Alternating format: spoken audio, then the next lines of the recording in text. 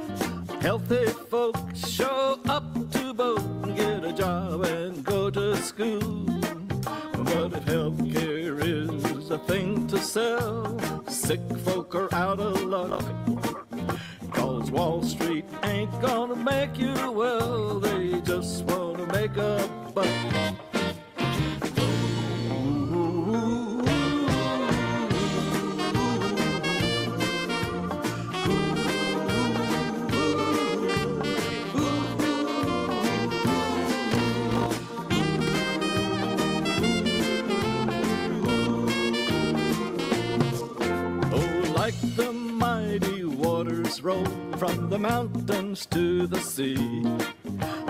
Justice roll for rich and poor, and folks like you and me. Let's wave our flag for democracy, where no one is above the law. Where truth will set Americans free to share health care for all. Roll, justice roll, roll, justice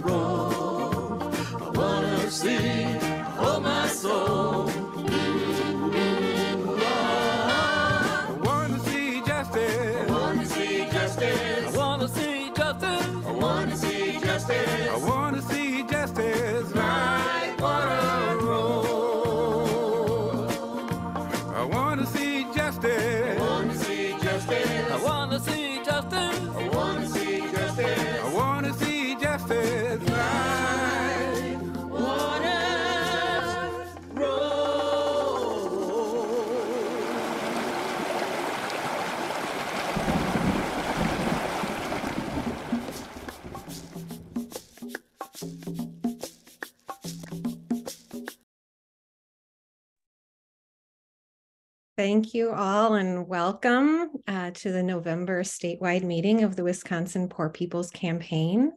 Uh, my name is Danielle Ty. Um, I'm here in Madison where we've got some cold and snowy weather. Um, so thanks so much for joining us tonight. Um, and special welcome to those who maybe it's your first time. Thank you for being here. Um, we really are grateful for for your presence and and need need to have you with us in this fight. So thank you so much for being here. Um, we're going to start tonight by grounding ourselves for just a couple of minutes in who we are as the Poor People's Campaign, what we believe in, and why we do this work. So, as the Wisconsin Poor People's Campaign, we recognize that the fundamental problem of our time is the growing concentration of wealth and power in the hands of a few, while the majority is dispossessed. We lift up the voices of poor and low wealth workers as leaders in this movement, uniting across all lines of division to advocate and organize for policies that fight the interlocking injustices of poverty, systemic racism, ecological devastation, militarism, and the distorted moral narrative of religious nationalism. We believe that everybody has the right to live and to thrive. So we fight for healthcare as a human right. We fight for affordable and accessible housing. We fight for living wages and a universal basic income. We fight for inclusive anti racist policies. And we fight for healthy communities free from violence and environmental degradation. Many of you know that the Wisconsin PPC hosted our first uh, structured study in August and September with a focus on healthcare as a human right. And this will also be the focus of our meeting tonight. The PPC understands how the fight for healthcare is interconnected with poverty. We know that poverty is a major contributor to ill health and a barrier to accessing healthcare when needed. Medical costs are skyrocketing, and millions of Americans struggle with medical debt. And as we'll hear more about tonight, millions in this country are also at imminent risk of losing their Medicaid coverage at a time when quality health care is more important than ever. The PPC is proud to be a part of the Nonviolent Medicaid Army that is growing across this country to fight for health care for all and to expose those who only see healthcare as a business and who seek to profit from our suffering. Our goal tonight is to have each of us identify at least one action we can take to support the Healthcare as a Human Right campaign, and several action ideas will be shared throughout the meeting. We'll hear from our friends at our Wisconsin Revolution about some incredible work that they're doing uh, to get healthcare for all on the ballot in counties throughout the state. We'll learn about ways that you can collect and share valuable information about healthcare in your local community. And but first, we're going to start um, by highlighting our first action, which is the power of our stories. We each have at least one story that we can share about how we've been impacted by a for profit healthcare system that doesn't put people first. Telling our stories brings us together and inspires us to change or to fight for change. So let's all uh, listen closely to our PPC member and organizer, Barbara, who will share the first testimony for tonight about why healthcare is a human right. So, Barbara, please tell us your story. Barbara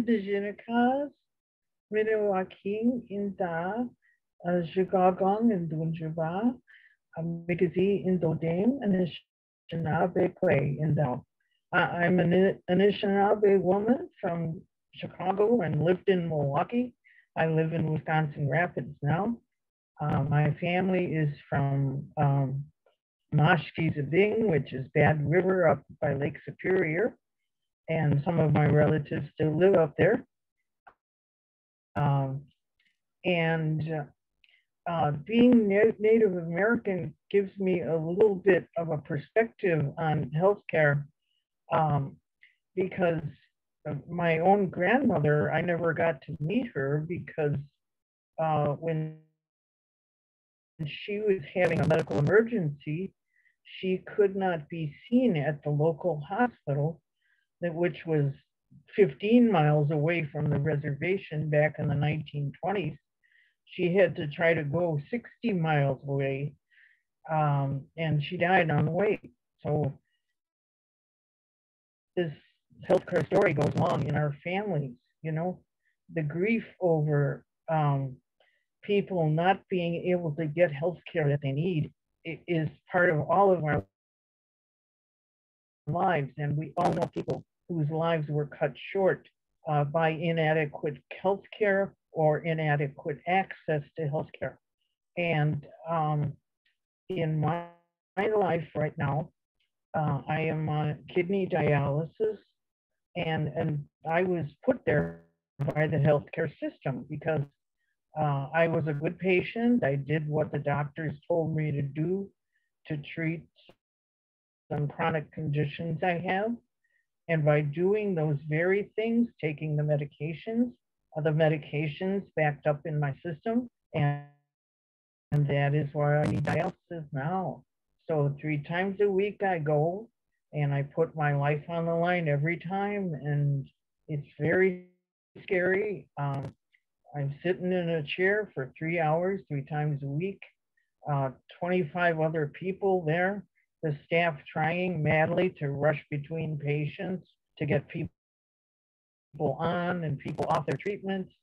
Uh, hopefully nobody has an emergency that needs an ambulance called, but there have been days where two or three people needed to have ambulances called to, you know, to take them to a, a hospital rather than the clinic.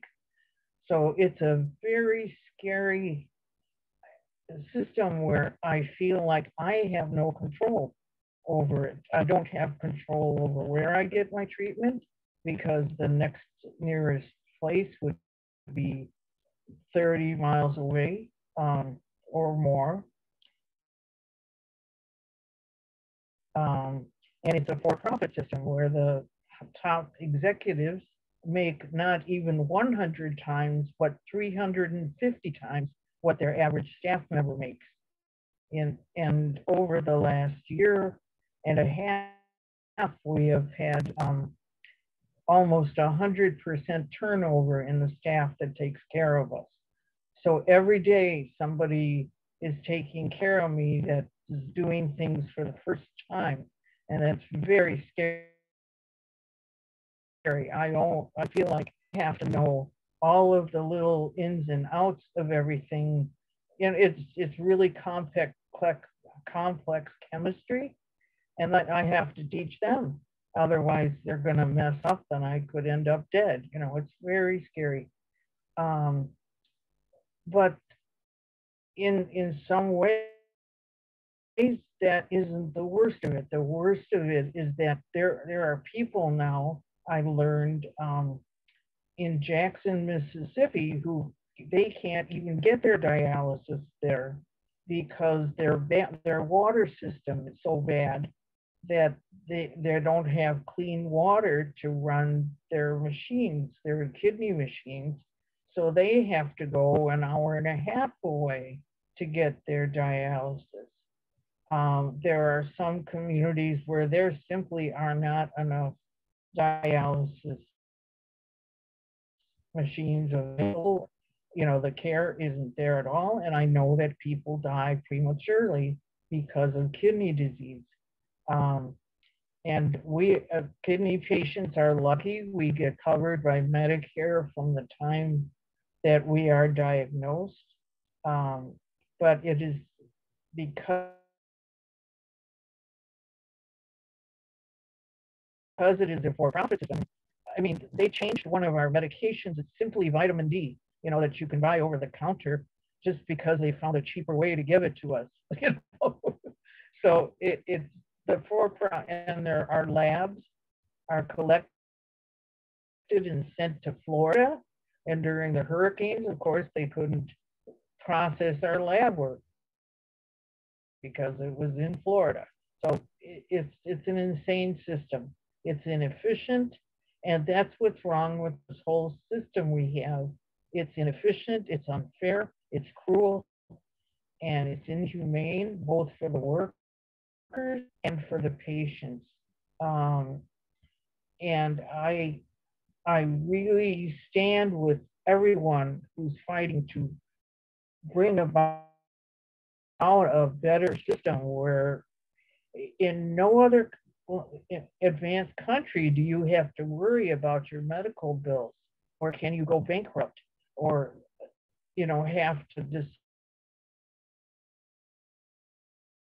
decide between uh, do I do I go get get myself checked out when I when I hurt myself um, or face a thousand dollars in medical bills just for a short visit you know my friend the other day told me that 10 minutes of lab work cost her a thousand dollars of unpaid bills that she doesn't have the money for.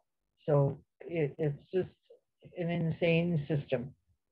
Um, so I want to join with everyone who's trying to make this better. And um, I know that we are going to do this if we just work together and join with other people throughout our country and don't let things divide us. So meet you, miigwech. Thank you very much. Thank you, Barbara. Um, Yeah. And, you know, we, we say in the campaign um, that somebody has been hurting our people and it's been going on far too long. That's Um, right. And we can't be silent anymore. Um, and you know the things that um, Barbara shared with us, um, a lot of things stuck out. You know um, that she's that, that she's more scared of this system, and not able to focus on her on her overall need, and that is her health. Um, scary system, time and time again, is what she she was saying, right? And and obviously, you know, she also talked about that this is something that shouldn't divide us. Um, you know, healthcare is um, nonpartisan. Uh, we all want um, better quality care, better quality health, and so, um, Barbara, thank you for you know sharing your story. Um, obviously, it's not a good story to hear, um, and that's why we're all here for. We're all here for better um, across different counties, um, wherever we live in this state, wherever we live in this nation. Like we all deserve better health care.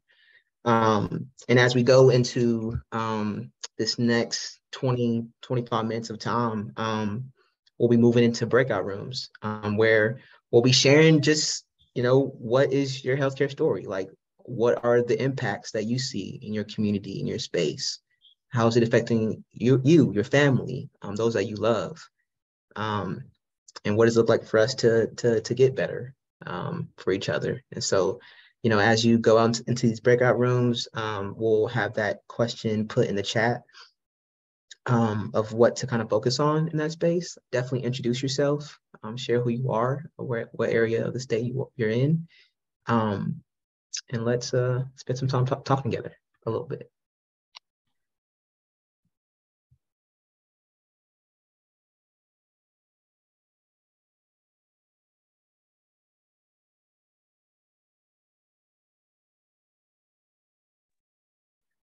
Welcome back, everybody. Um, I know we had some really interesting conversations um, in our group. Um, so we'd like to hear from some of you what you heard in your group. Um,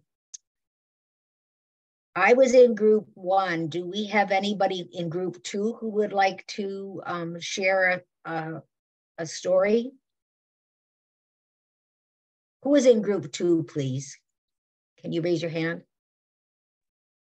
Was that us? Oh, that was us. Okay. well, I would. okay. I was just going to say, I, I thought, I mean, we got to hear a little bit more um, from Barb about um, uh, one of her friends who um, has also been struggling with um, healthcare. She has coverage, but not enough.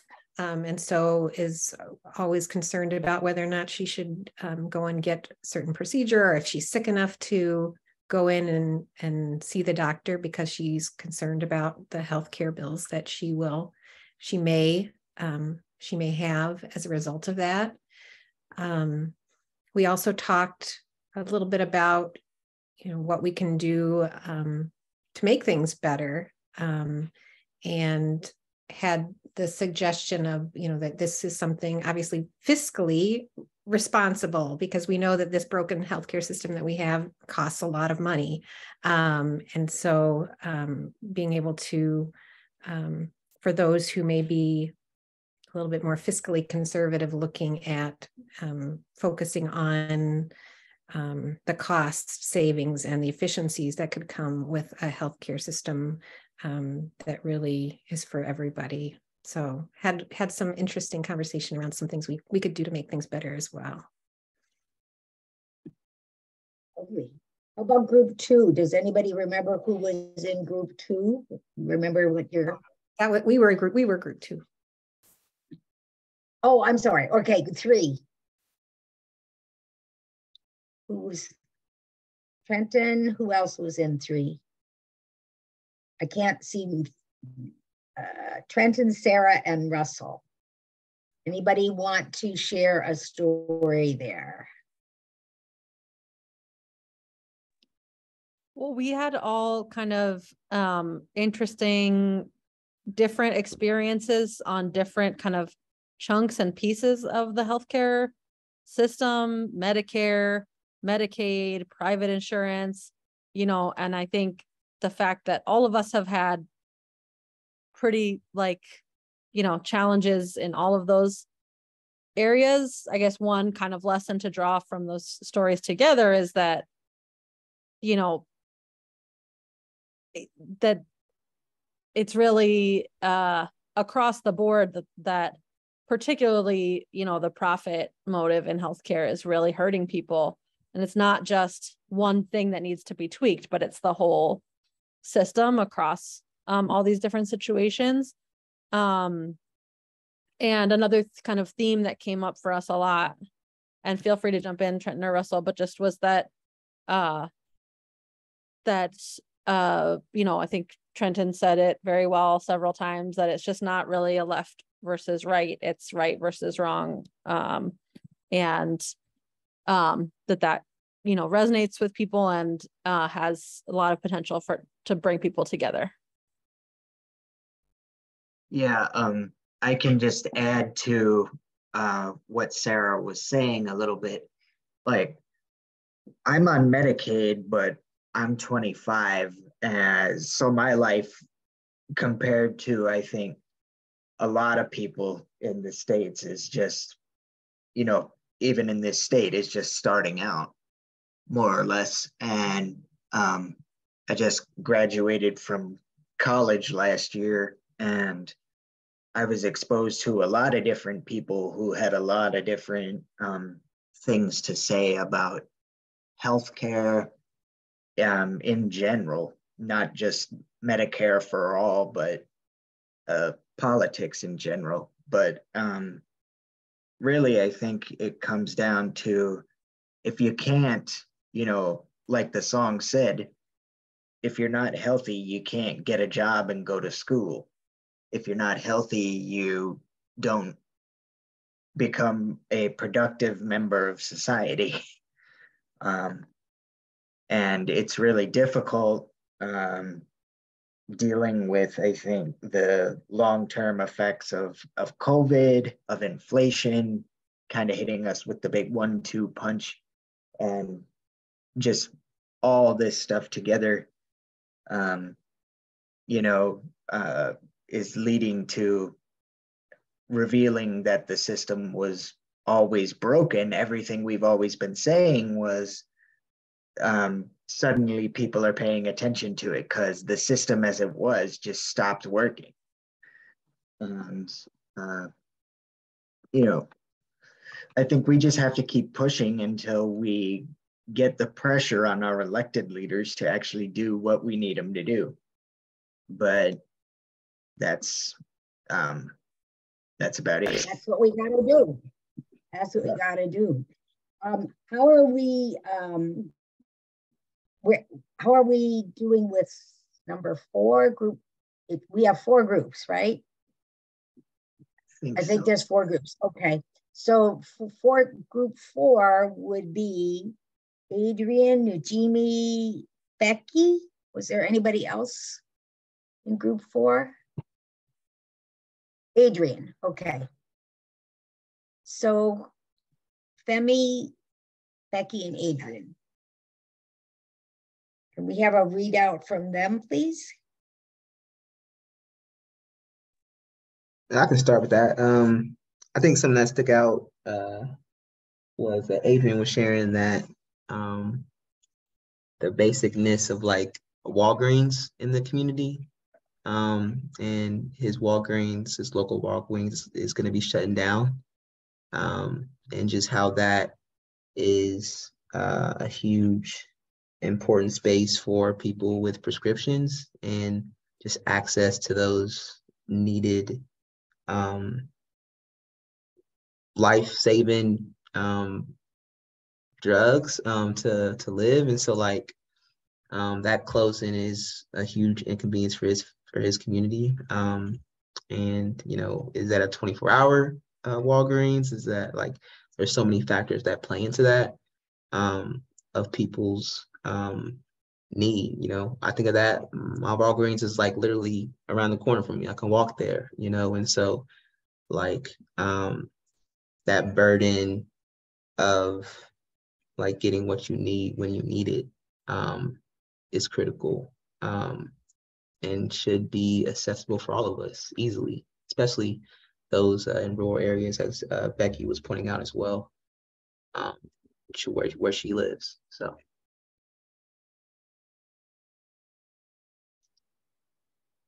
Uh, anybody else from that group want to say, say something? Come off mute.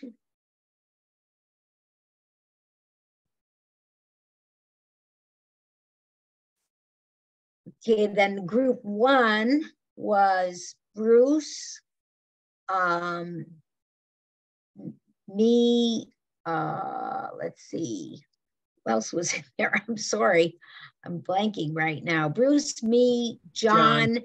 Yeah, and Natalia. and Natalia. So would one of you want to do a summary? Okay. I can briefly share. Can people hear me?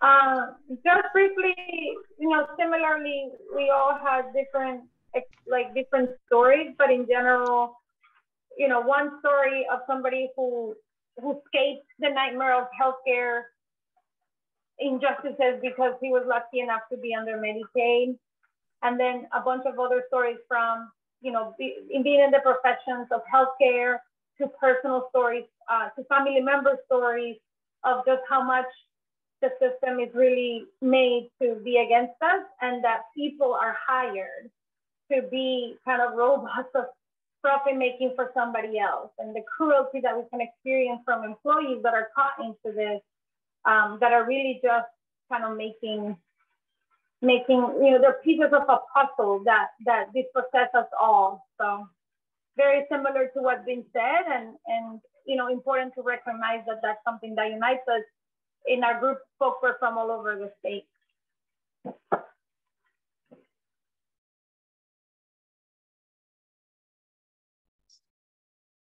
Good summary. These are all powerful stories. And I know in our group, when people tell their stories, it's very heartfelt. And um, John was saying that uh, in doing canvassing, um, it really unites us across um, rural urban and blue and red is that um, everybody has a healthcare story and if it isn't them themselves it's a family member or a close friend it, these are very painful stories for people to live through and sharing them has great power so um, we're going to move next to um, a summary of our healthcare um, study, which we had this summer. And can you share the screen and get the slides up?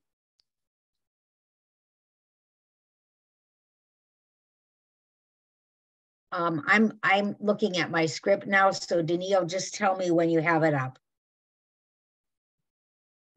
Yeah, it's up. Okay.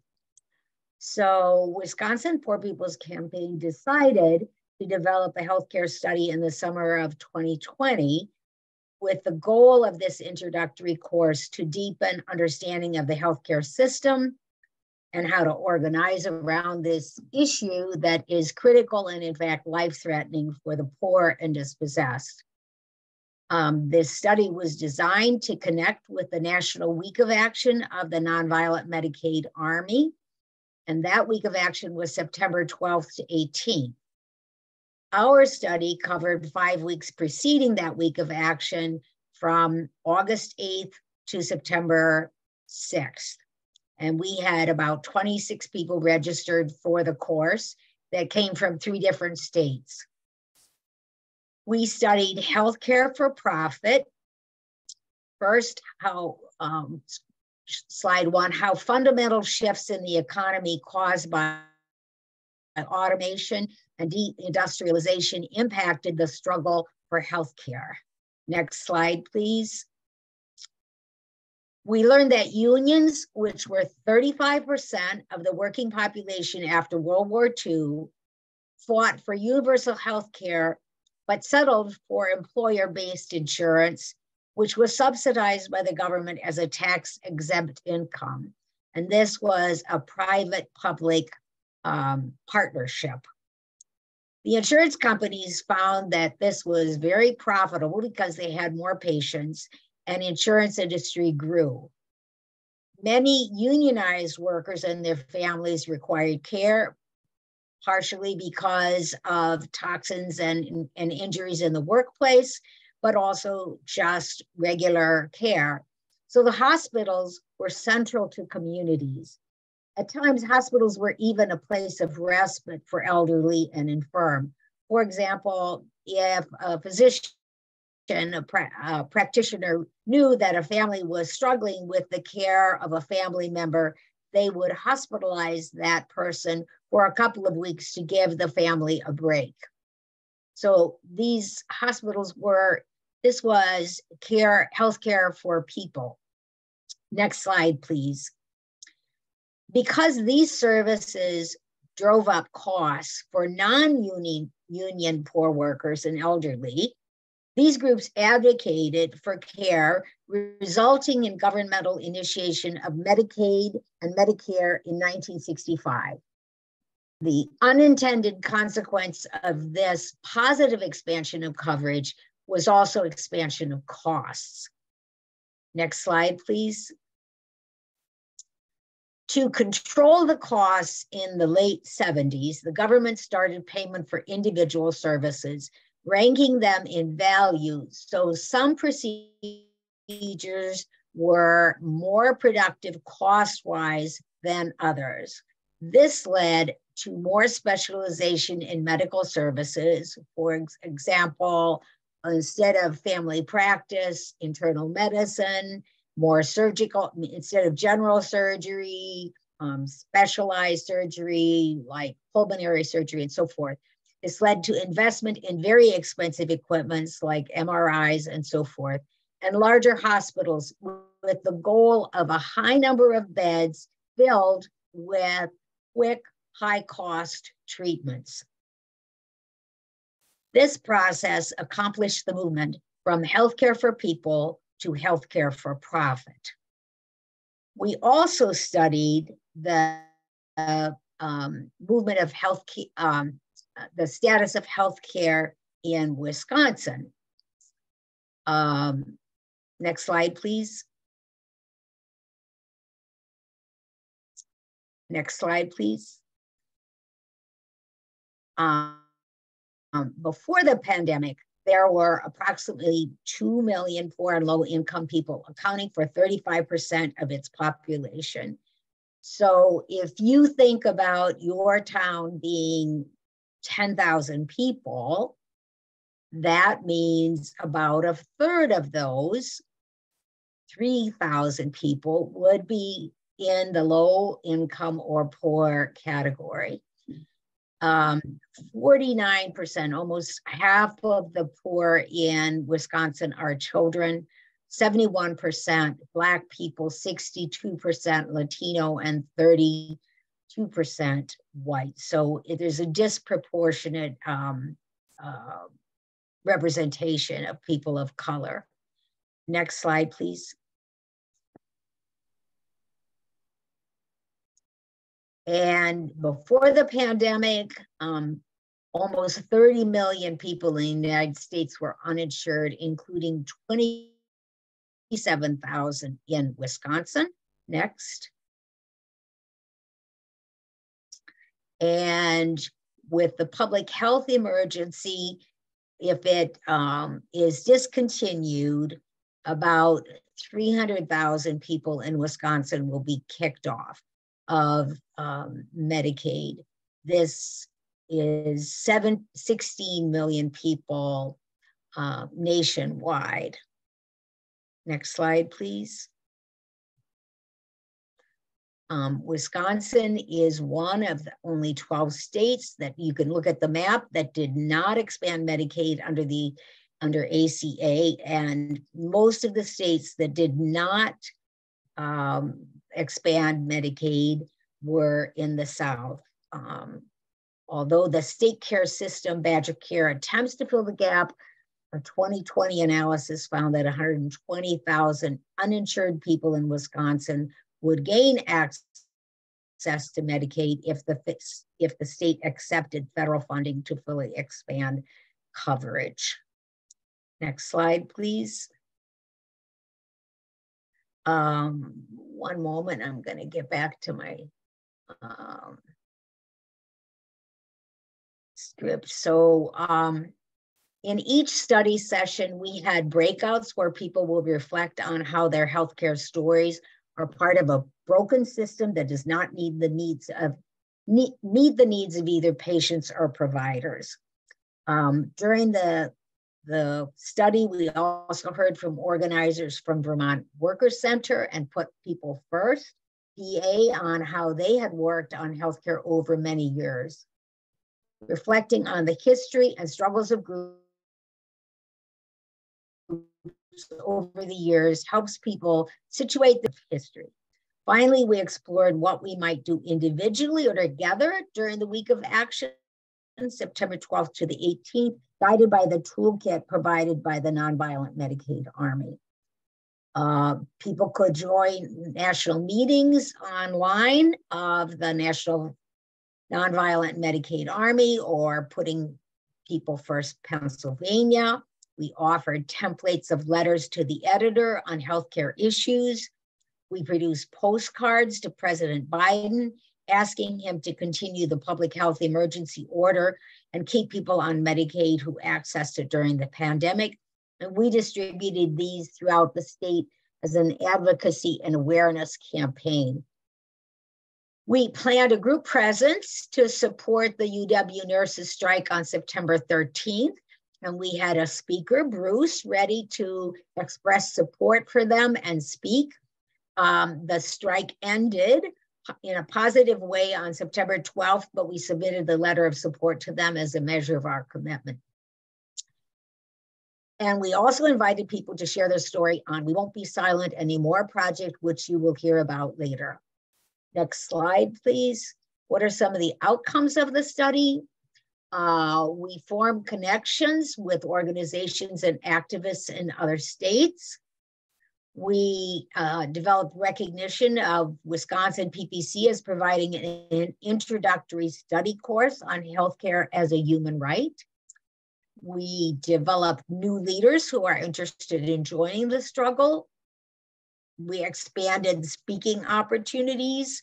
Uh, one of the people who took the course and who provided um, information about uh, how uh, the, the narrative that you have to pay for health care and that's the only way it works is a man named Wayne Scadam, and he shared his healthcare story at a Get Out the Vote event in Beloit, Wisconsin, which was attended by the national people who asked him then to um, contribute his story online for a national Poor People's Campaign event. And finally, uh, there's a continuation of the focus on healthcare by devoting this meeting to it.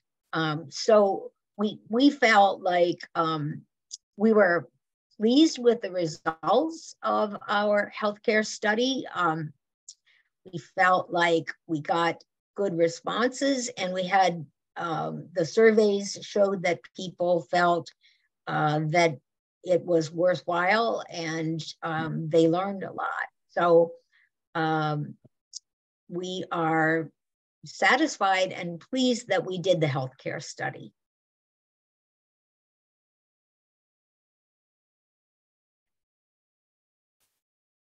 And I'm going to turn it over to Megan now. Thank you. Wasn't as quick on my unmute button as I thought I would be. Um, so thank you to everyone who has shared tonight and helped bring us all together as well. Um, I'd like to take a couple of minutes to share my own reflection and what has brought me to find a place with the PPC.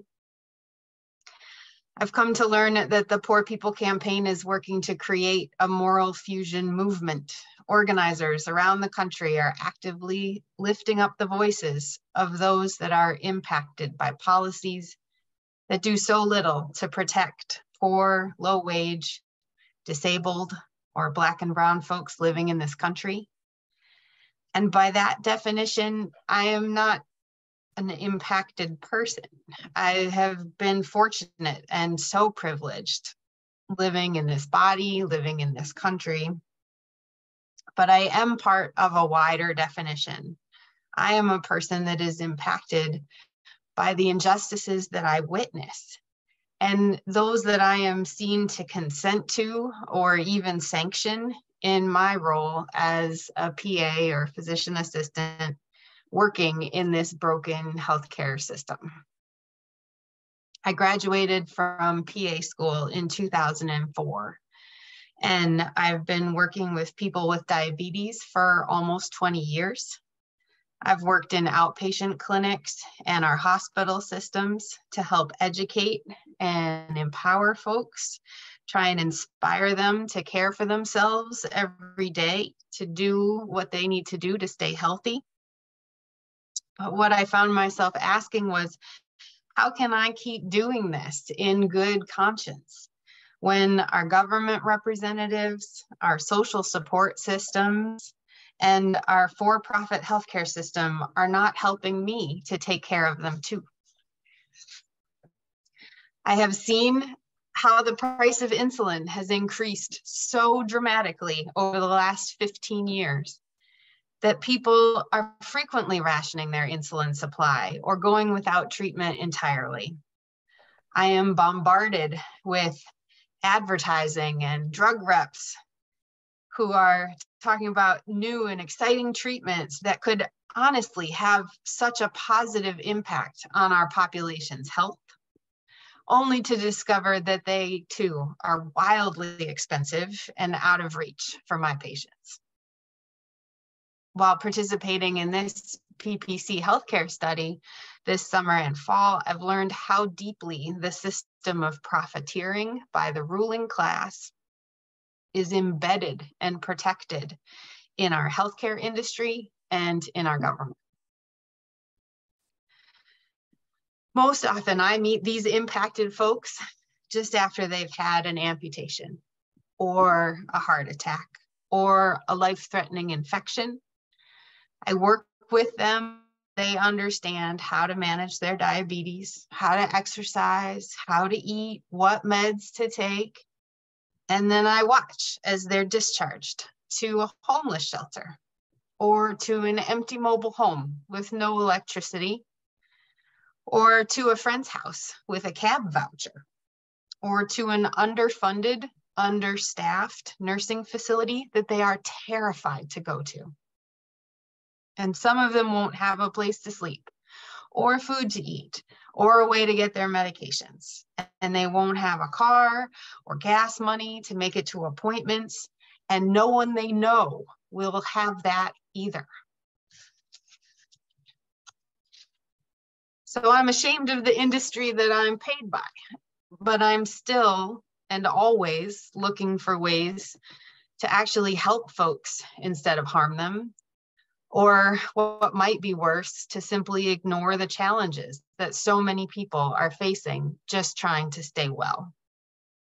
All of us working in these broken systems can help to lift up the voices of those that are impacted. And I think that includes our own. If we can unite all the definitions of impacted, if we can unite and stand together in this, we can make it change. So thank you for listening tonight.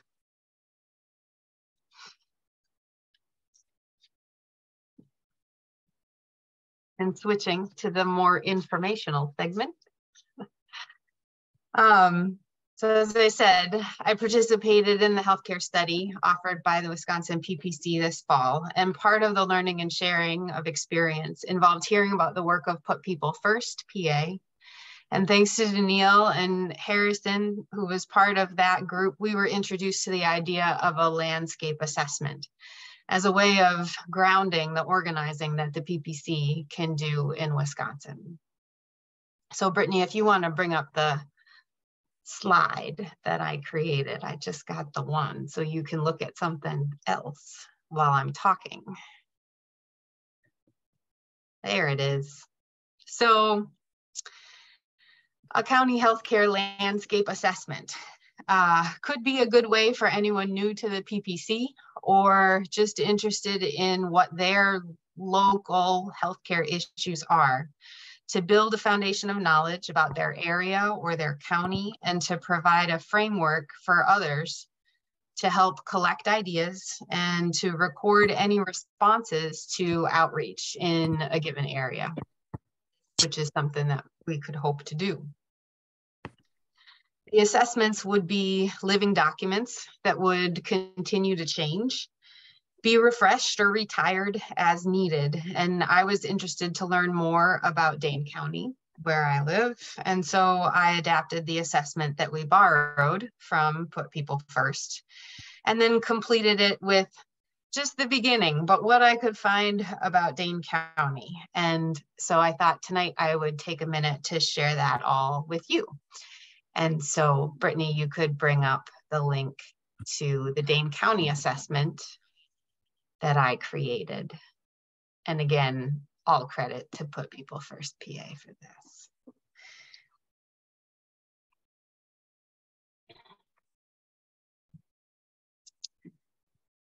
And I can just sort of let you know to scroll down. I think um, I really appreciated even just having a map of the county to sort of be reminded of what is in this location.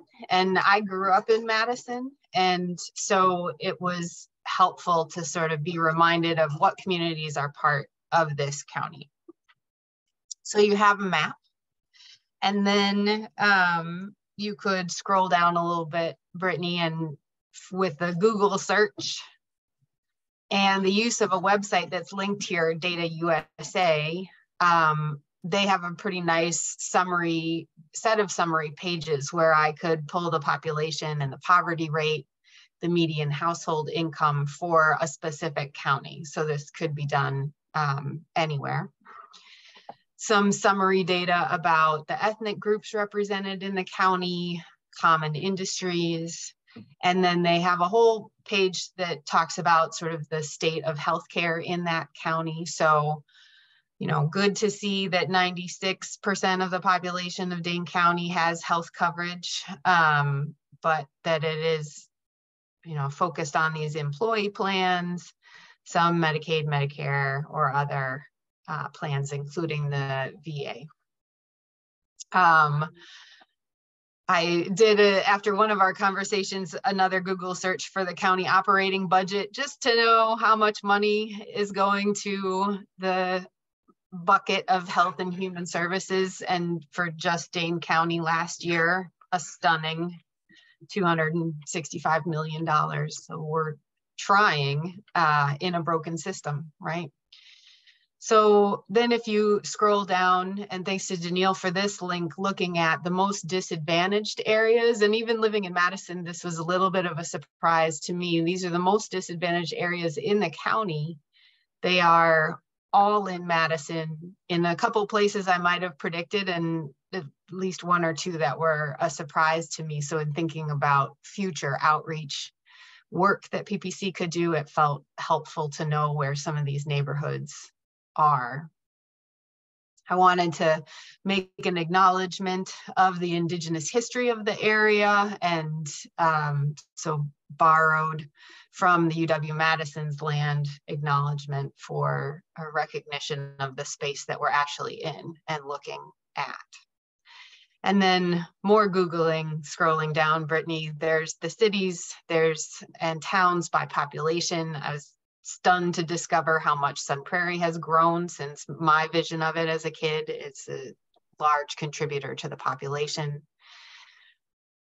I looked for the primary healthcare systems in the county. So you'll see those listed there and the idea that there is Dane County Public Health as an organization and resource. You can keep scrolling down, Brittany, because this is where it gets a little bit lighter. But some community resources that I felt like I was familiar with that we could add to some places to look for online resources, places to hold uh, recent news.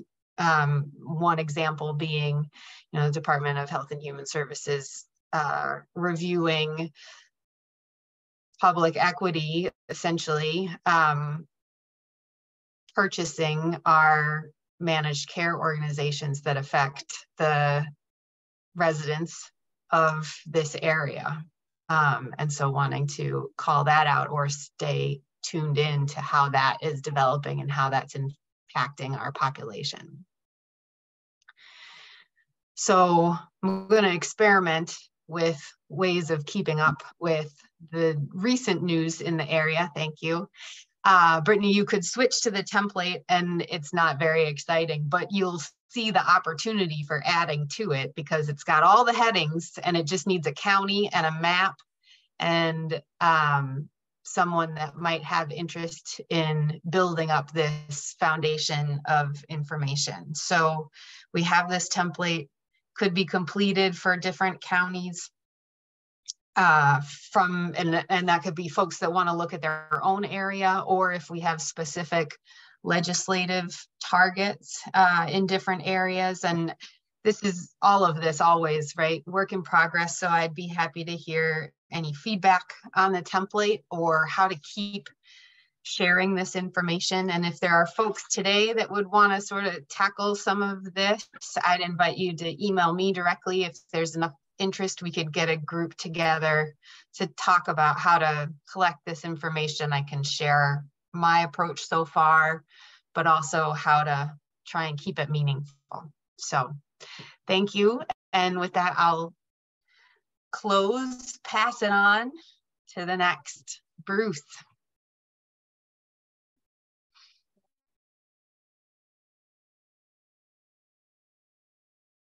That was awesome. Megan. Appreciated your your story too. I can relate with a lot of what you were saying. Um, so this is always a kind of a fun part of the the meeting. Not that the rest of it hasn't been fun, but uh, we get to introduce our partner organizations and uh, connect with what they're doing. And uh, one of our goals is to try to figure out how we can continue to work together because we're not in this alone and I wanted to uh, introduce John Calabrese. Uh, he told me to tell you that he's a woodworker. He's a member of the Dunn County Board of Supervisors. He's from Menomonie, which is up the northwest part of the state. Uh, and he's an organizer with our Wisconsin Revolution. I think he sits on committees for the environment and uh, healthcare. And I just personally have to add, as some of you have probably already noticed, he has such a such a calming voice and demeanor that he could he could put a frightened mouse at ease. So there you go, John. Put us at ease, but get us fired up at the same time, okay? Thank you, Bruce. I appreciate that. And I, I think it's uh I, I feel like it's appropriate for me to follow Megan. Uh, and I'll I'll elaborate on that in a minute, but I'm just I'm glad to be here and I'm glad to see so many people here this evening. Uh, and I've, I've really had a good time on this meeting. I had a good time in the in the breakout room um, because it, this has been my focus in these last few months is hearing stories like I heard in that breakout room and and the stories from the other rooms. Uh, it's just been inundating my life these last several months, and uh, so the reason I feel like it's it's good to follow Megan is is her um, her focus on the the county numbers and the the amount of money that Dane County is spending on health insurance. And so just to overview, I'm an organizer with our Wisconsin Revolution, and I'm also a Dunn County supervisor, as Bruce mentioned. And I've been on the county board in Dunn County for almost five years. And when I got hired on with OWR, uh, and we were just uh, sort of rebooting and re refocusing uh, the purpose of the organization and where we wanted to go after some upheaval last year, And the idea was that we would focus around issues and when make committees for each issue. And one of the issues was health care. And uh, what's fascinating in a rural, uh, conservative leaning county, and something that I just I, I, I couldn't get out of my mind is that uh, because I come from without getting into a, too deep of a background of my life, I was raised in a conservative family. Uh, my mother was the Republican chair of uh, Livingston County, New York, where I grew up. Uh, of the county party, I stuffed envelopes for George Bush as a as a little ten year old kid, the first George Bush, not the second one. And so I and then I moved here and there, and I became really a lot more liberal and and um, and but then I got on the county board, missing a whole chunk of my life in in, in between there, and I saw this rural county board like the a county that went for Trump two times, a county that just every every uh, every person on the ballot a week ago, every Republican won, and so it would stand to reason that this county board is uh, 29 members, largely conservative. But what I see is that there is no political rancor. People don't argue about left or right issues. They, when you get to the county level, they have to balance the budget by state statute. Every county needs to balance the budget, and they need to provide services that the that the people of the county uh, expect. And people on the county board in Dunn County don't get paid any money. They get a little per diem for each meeting. They're not in it for the glory or the money. And I would see these people who I knew were conservative starting to understand how the budgets work, starting to understand what happens with the state constraints on each county. And I would see these these conservative people be like, wait a minute, why are we not taking the Medicaid expansion? It's right there. If they don't take it, our county uh, nursing home is going to close because of the reimbursement rates. And so I would see people that I had Trump bumper stickers on their car put together a presentation for our, our state lawmakers at our special legislative meeting that we have every month and say, please take the Medicaid expansion. And so our idea was we want to bring uh, the topic of, of uh, national health insurance to the county boards uh, at a fiscal level, at a financial level, the, the things that speak to these people in rural in rural communities, to the leaders in rural communities. And we brought it to Dunn County and and so many people from from the community came and spoke to the county board and said uh, we don't want you in Dunn County to we don't expect or want you to fix our national uh, healthcare system obviously. But what we want is for you to put this question on the ballot for the people in Dunn County so that between now and July and November everybody can start to have this conversation and maybe we can shift the conversation and the question reads Shall Congress and the President of the United States enact into law the creation of a nonprofit, publicly financed national health insurance program that would fully cover medical care costs for all Americans? And the people on the board voted unanimously to put that on the ballot because they were implored to just start the conversation because they know Dunn County, as opposed to Dane County, like Megan was mentioning. Dunn County spends a half a million dollars a month on health insurance. It's insane. And so you speak to the fiscal uh, priorities of the people on the board, and then you bring it out into the community. And I went to these places all across Dunn County uh, that I know have gone red year after year after year and we drop literature and we talk to people and, and everybody has a story like we've been talking about this whole evening and um, we we passed the referendum uh, barely just by two points but uh, Mandela Barnes did not win in Dunn County. Tony Evers did not win in Dunn County. We outperformed them by six points, eight points, 10 points, all the Democrats on the ballot, because this issue speaks to everybody. And it wasn't just about health insurance. As I as I I've reflected over these last seven eight days, um, what was so moving for me was that uh, you know all of us here are politically minded, and so you probably get uh, your fair share of, of national politics coming into your social media feeds and into your your your world from wherever it does and and we're told to believe that there's such a divide in this country that it's insurmountable and that you uh, not not just that it's insurmountable that there's you know a lot of people say you shouldn't even talk to your neighbors because because they're the problem and that we're supposed to be very skeptical and dubious of our neighbors. But um, i found that not to be the case. And so with this issue uh, not only can we help uh, you know raise raise this issue to a point where and i i, I always say the same thing when people ask me about it uh, and I would talk to people as I went to doors, talk about it like you talk about the fire department. Because if you go and talk to anybody about the fire department and you ask, what do you think about the fire department?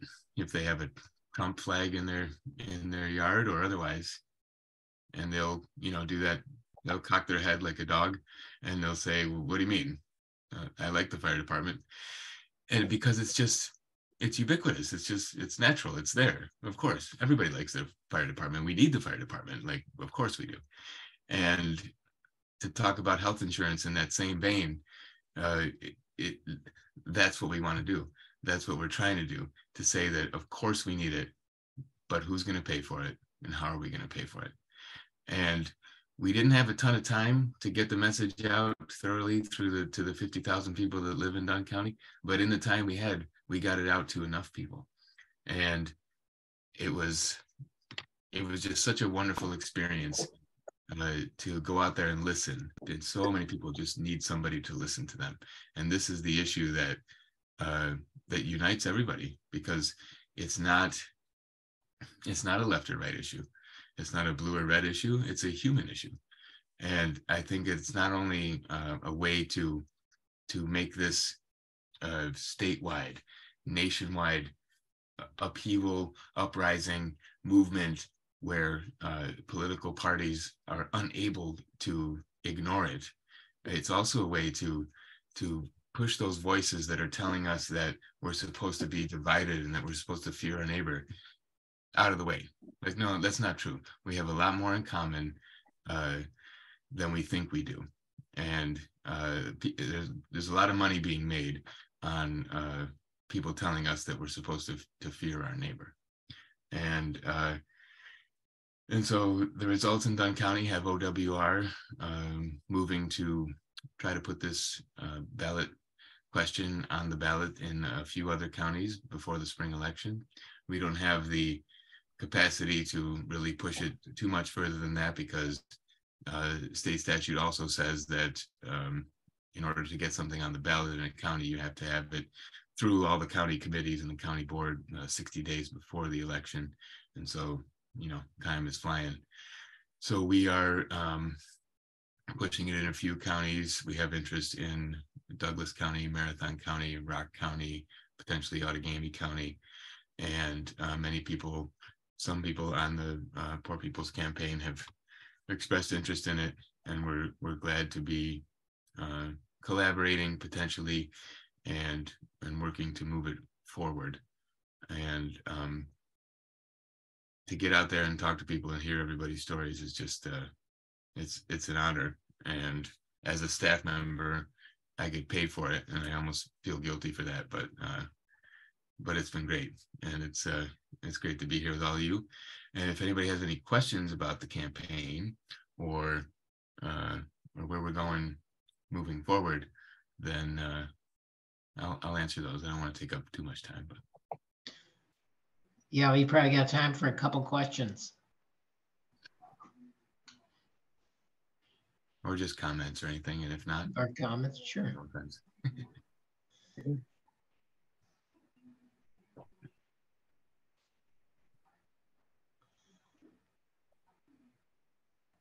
Yeah, we've been finding a lot of um, a lot of people who vote for Trump are poor people. So you know, what you did just kind of underscores how we can connect with people over issues and how we can unite over those differences and those fabricated divisions. Yeah, and and if I can, just real quick, Bruce, something I said to people because I noticed it was I would say there is a, a United States president who said the following and I think the year was 2015. Uh, nobody's going to have to worry about health insurance. Everybody's going to be covered, and the government's going to pay for it. Can you name that president? Or, and that was he wasn't the president yet, but that was Donald Trump. Mm-hmm. Nobody has to worry about health care. Everybody's going to be covered. The government's going to pay for it. And what's notable about that statement, of course, it didn't happen. Of course, he didn't push for it. Of course, he's corrupt. Of course, all the, the uh, pharmaceutical and the health insurance companies got to him and shut that down. But what was notable about when he said that, there was no upheaval from his base. There was no pushback. There was there was Mhm. nothing. Everybody that supported him when he said that thought that sounds like a good idea. And so we are at this crossroads in this country where some of the lines of left and right, and Democrat and Republican, are, are blending, whether it's uh, health insurance or whether it's the security state or the FBI or war or all these things. And and now is the time, as it passed in Dunn County, to uh, to push this forward and, and break down those lines and kind of unite with our neighbors. Nijmie has a has her hand up. Has their hand up. Yeah, thanks, Bruce. Um, yeah, definitely really appreciate this. I don't want to take up a lot of space on your call. Thank you, John, um, for what you said. And I'm familiar with our revolution and our revolution Pennsylvania and Chuck Pennacchio and folks. Um, I just want to say that um, I think this is an amazing example of you know how to build political independence um, and I, for that i think it's fantastic and then i think that the the second level is um, that you know we we have to be um, building a base and developing leaders right out of these kinds of processes.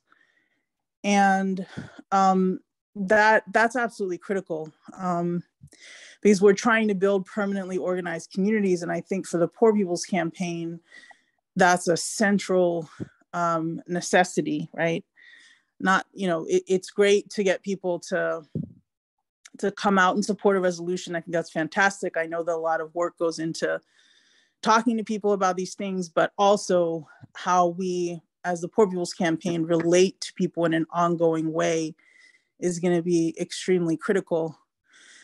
And i want to say also just that um you know it, it's it's not just about the fact that you know this is a uniting issue for us which it is and this is something that we say all the time it's also a point of weakness for the ruling class right? We know that uh, part of the issue is that neither party has really put forward a solution even in the pandemic right? I mean there hasn't been a really significant expansion of healthcare in any way and we know that the ruling class's interest in the healthcare system is literally for for profit making. And that's fundamentally uh, opposed to our interest in it.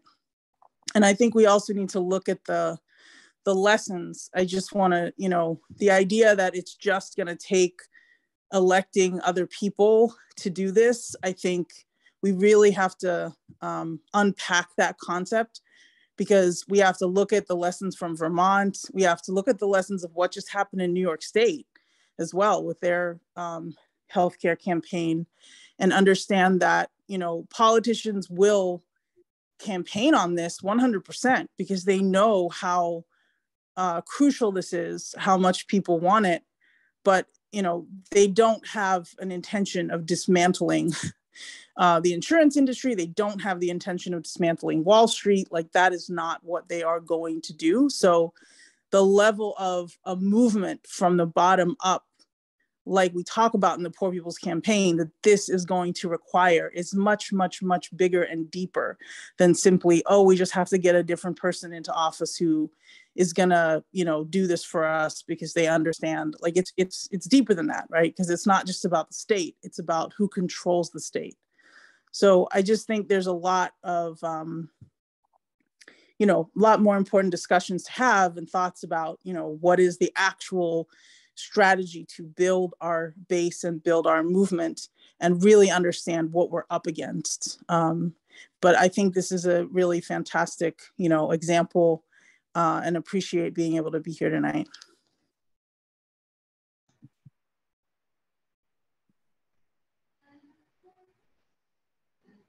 Thanks, Nijmie.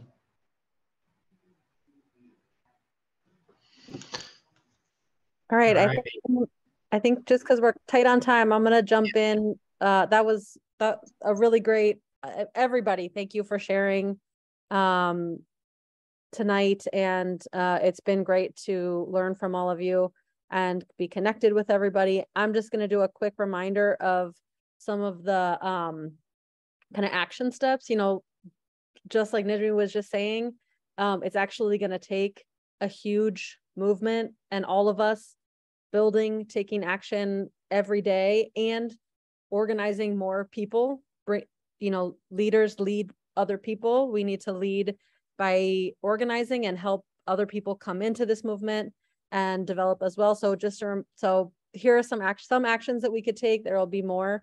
Um, and and think about how we could do each of these, you know, not just ourselves, but how can we have these actions be ways that we can bring more people into starting to participate, starting to have these conversations. So um, some of the things that were mentioned tonight that we want to just remind people about are um, completing that landscape a landscape assessment. The more we can compile these for different areas of our state and look at them together and um, each will help us be smart and strategic about how we build this movement. So um, thank you, Megan, for sharing about that. And if people want to work on that, we can get be in touch with Megan to get support.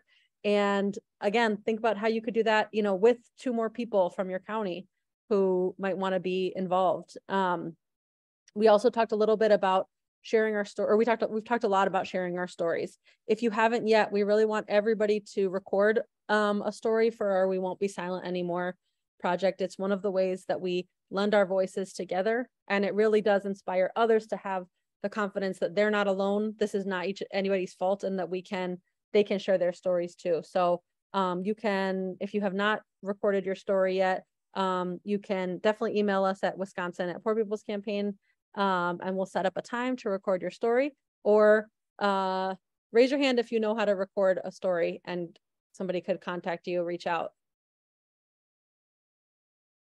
Okay, so there's a few of us on who could help record a story um, if you want to do that. And we hope you do. Um, and then um, last but not least, we mentioned um, the Medicaid cutoffs that uh, are that are coming connected to the public health um, emergency. Uh, if if people didn't see in the news, it uh, looks like that's not coming in January as people thought.